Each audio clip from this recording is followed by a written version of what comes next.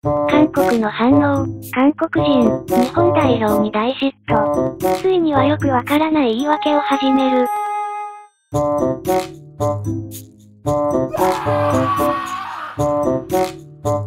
私たちもドイツに分かったことがある。韓国には、ソン・フンミンとキム・ミンジェがいる。アジアナンバーワンは日本だ。これは認める必要がある。キム・ミンジェほどのビッグクラブに在籍する日本人はいない。スカ首相とプレミアリーグ得点王を獲得したら日本が韓国より強いと認める。